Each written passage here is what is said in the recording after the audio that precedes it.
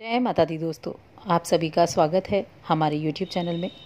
दोस्तों, आज की इस वीडियो में हम बात करने वाले हैं 6 अक्टूबर से 12 अक्टूबर तक के सिंह राशि फल के बारे में।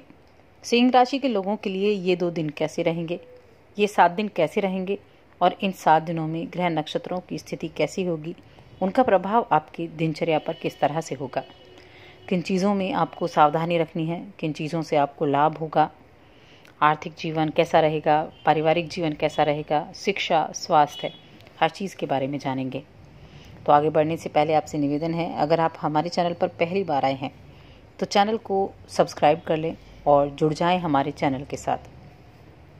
दोस्तों 6 अक्टूबर से 12 अक्टूबर तक की बात कर रहे हैं। इन सात दिनों में अगर हम चंद्रमा की स्थिति देखें तो चंद्रमा सिंह राशि के लोगों के लिए नवे भाव में दसम भाव में, एकादश भाव में और द्वादश भाव में होंगे। यानी ये चार भाव आपके सक्रिय अवस्था में होंगे। और इन चार भावों में चंद्रमा की जो सक्रियता है, चंद्रमा की जो स्थिति है, उसी के अनुसार आपकी दिनचर्या भी प्रभावित होगी। सप्ताह की शुरुआत में चंद्रदेव नवम भाव में होंगे, जो कि भाग्य का भाव होता है, जो कि धर्म का भाव होता है। नवम भाव में बैठकर चंद्रमा आपके जो गुस्सैल स्वभाव है उस पर थोड़ी लगाम लगाएँगे। जो सिंह राशि के जातकों को जल्दी जल्दी गुस्सा आता है, उससे निजात मिलती दिखेगी। आप लोगों के साथ शांति पूर्वक रहते हुए वार्तालाप करेंगे, बातचीत करेंगे और आपके व्यवहार में सकारात्मक परिवर्तन भी देखने को मिलेगा। सकारात्मक परिवर्तन होगा तो आसपास का वातावरण भी सकारात्मक होगा। तो ये जो समय होगा, ये आपके भाग्य के लिए बेहद अच्छा है। आपकी राशि में शुक्र बैठकर आपके साख में इजाफा करेंगे।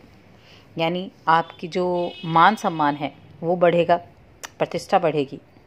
लेकिन आपको यहाँ किसी पर भी विश्वास करने से बचना है। किसी भी व्यक्ति पर जो अनजान व्यक्ति हो उस पर खास तौर से आपको विश्वास नहीं करना है। आ, आपकी महत्वाकांक्षाओं को एक नई गति मिलेगी। अपनी महत्वाकांक्षाओं को आप पूरा करने की तरफ़ चलेंगे। मित्रों का सहयोग भी आपको प्राप्त होगा। रिश्तेदारों से भी किसी बात को लेकर कुछ तो तो मैं हो सकती है तो उनसे भी थोड़ी सावधानी रखें। लेकिन इस दौरान कोई सौदा आपके लिए बेहद लाभदायक रहेगा। आप कोई सौदा करते हैं तो उसमें आपको लाभदायक स्थितियाँ बनेंगी। इस हफ़्ते आप निस्वार्थ भाव से अपने परिवार की ज़रूरतों को सबसे अधिक महत्व देने वाले हैं। घर हो या आपका काम हो, किसी भी जगह कोई परेशानी आती है तो आप उसका डट कर सामना करेंगे। और इस बात पर विचार करेंगे बिना घबराए, कि आप उस चीज़ को कैसे उसका सामना कर सकते हैं, कैसे उसको ठीक कर सकते हैं। तो ये जो स्थिति होंगी, ये आपके लिए काफ़ी अच्छी होंगी। इसके बाद चंद्रमा राशि बदलेंगे और आपके दसम भाव में आ जाएँगे, जो कि कर्म का भाव है कार्य क्षेत्र का भाव है। इस दौरान समय ठीक ठाक रहेगा कार्य क्षेत्र में आपको ध्यान से काम करना होगा तो बेहतरीन रिज़ल्ट मिलेंगे। चंद्रदेव के दसम भाव में आने से किसी सौदे से आपको लाभदायक योग बन रहे हैं। कोई सौदा आप इस दौरान करेंगे जो आपके लिए लाभदायक सिद्ध होगा। किसी अनुबंध या समझौते से लाभ के मार्ग प्रशस्त होंगे और कामों में सफलता मिलेगी।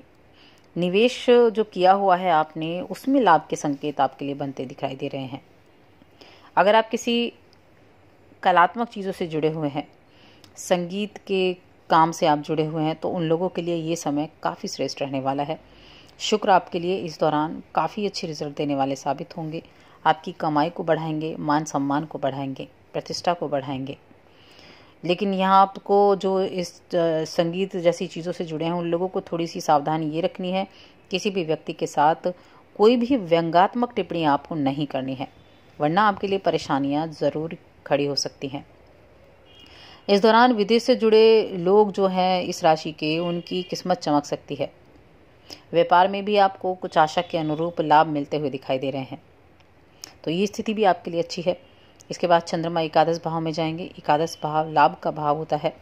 आपके एकादश भाव पर गुरु की सप्तम दृष्टि भी पड़ी हुई है, जो आपके बिगड़े हुए कामों को बनाने का काम करेगी। गुरु की जो दृष्टि है, ये धन के प्रवाह को बढ़ाएगी। इस दौरान आपके घर परिवार में कोई मांगलिक कार्यक्रम भी हो सकता है। छोटे भाई बहनों का भी पूर्ण सहयोग आपको प्राप्त होगा, जिससे आपके जीवन की कई मुश्किलों में आपको आसानी रहेगी, कई मुश्किलों को आप पार कर पाएँगे। तो ग्यारहवें भाव के चंद्रमा भी आपके लिए अच्छे हैं, निवेश में अच्छे लाभ दिलाएँगे, मानसिक बल देंगे, मानसिक बल अच्छा होगा तो अपने कामों पर ध्यान लगाएँगे। बड़ों का आशीर्वाद मिलेगा, बड़ों के आशीर्वाद से कई बिगड़े हुए काम आपके बन सकते हैं। इस दौरान घर परिवार के किसी सदस्य की मदद से आपको मन में काफ़ी संतोष रहेगा। कुछ पुराने मित्रों से मुलाकात भी होगी। छोटी मोटी दिक्कतों को छोड़ दें तो बहुत अच्छा समय रहेगा, सेहत काफ़ी अच्छी रहेगी। तन ही नहीं, मन से भी आप खुद को काफ़ी बेहतर महसूस करेंगे। ये समय लंबे अरसे के बाद प्रेमी प्रेमिका के साथ बिताने के लिए अच्छा अवसर होगा। इस दौरान कुछ जोखिम भरे जो कार्य हैं, उनमें, उनसे थोड़ा सा दूर रहें तो अच्छा है। इसके बाद चंद्रमा राशि बदलेंगे, द्वादश भाव में आ जाएँगे। आपके द्वादश भाव में चंद्रमा की स्थिति उन लोगों के लिए लाभदायक है जो विदेश से जुड़ा व्यापार करते हैं, क्योंकि इस भाव को हानि का भाव, विदेश का भाव कहा जाता है। तो उन लोगों के लिए बहुत अच्छा है, किसी भी तरह से आप विदेश से जुड़े हैं। बाकी स्वास्थ्य का अंतिम दिनों में थोड़ा सा ध्यान आपको रखना होगा। आपके अंदर जो किसी बात को लेकर नकारात्मकता आती है, उसे दूर करना होगा। इस दौरान आपके प्रतिद्वंदी हैरान हो जाएँगे आपके काम से, और उन पर आप काफ़ी हावी भी बनते हुए दिखाई देंगे। मन को शांत रखने की कोशिश करें। काफ़ी धैर्य के साथ काम आपको करना होगा। मन को शांत करने के लिए आप योग अभ्यास कर सकते हैं, ध्यान कर सकते हैं। कार्यस्थल पर ठीक ठाक समय रहेगा। अगर असहज महसूस करते हैं तो आप ज़रूर मेडिटेशन करें। सप्ताह का जो ये अंतिम समय है, जो कि द्वादश भाव में चंद्रमा की स्थिति है, आपके खर्चों को बढ़ाता हुआ दिखाई दे रहा है। इस दौरान आकस्मिक खर्चे आ सकते हैं, जो स्वास्थ्य संबंधी भी कुछ हो सकते हैं और घर परिवार से जुड़े हुए भी इस समय हो सकते हैं। तो उन खर्चों को आपको खुद मैनेज करना है, कौन सा खर्चा आप कर सकते हैं। बेकार, बेवजह के खर्चों पर नियंत्रण आपको ज़रूर करना होगा। वैवाहिक जीवन वाले लोगों के लिए परिस्थितियाँ अच्छी रहेंगी। पूरा सप्ताह वैवाहिक जीवन के लिए अच्छा रहेगा। परिवार का माहौल साथी की वजह से काफ़ी अनुकूल रहेगा। विद्यार्थियों की यदि बात की जाए तो विद्यार्थियों के लिए भी ये जो समय है अनुकूल रहेगा।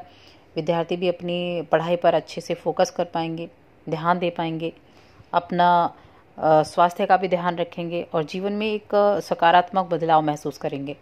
तो उनके लिए भी ये समय अच्छा है। कुछ मांगलिक कार्यक्रम होने का इस सप्ताह में ज़रूर योग बन रहा है। कुछ मांग मांगलिक कार्यक्रम होगा, जिससे परिवार का माहौल काफ़ी पॉजिटिव रहेगा। तो ये पूरा सप्ताह आपके लिए अच्छा है और इस सप्ताह में अगर आपके, हम उपायों की बात करें तो आप श्री गणेश को सिंदूर चढ़ाएँ या गणेश चालीसा का पाठ भी आप कर सकते हैं, जो बेहद अच्छा उपाय आपके लिए रहेगा। तो दोस्तों, और अधिक ऐसी जानकारियों के लिए चैनल को सब्सक्राइब कर लें और हमारी इस वीडियो को ज़्यादा से ज़्यादा लाइक करें शेयर करें।